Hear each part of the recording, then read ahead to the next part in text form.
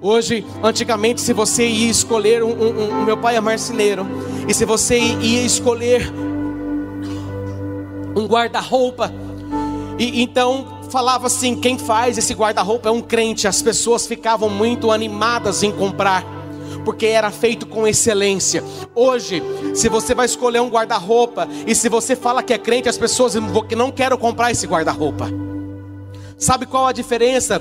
A diferença é que as pessoas antigamente, elas tinham a profissão como a expressão de Deus, um propósito que Deus tinha colocado na vida dela. Hoje é apenas um bico. Eu estou fazendo um bico, por isso que eu faço mal feito. Crente não trabalha para fazer bico. Crente trabalha para cumprir propósito. Um Deus de propósito. Se você trabalha no supermercado, seja o melhor. Employe, como fala employe, meu Deus do céu? Employe. Como? Empregado, seja o melhor empregado. Se você é uma professora, seja a melhor professora da sua escola. Se você é um advogado, seja o melhor advogado.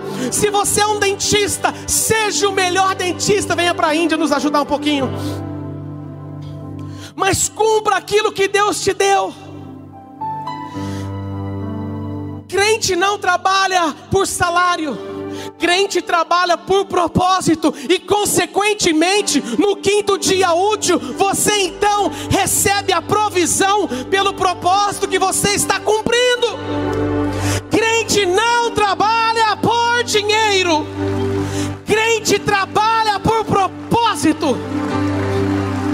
Crente não trabalha apenas para pagar as suas contas, isso é muito pouco.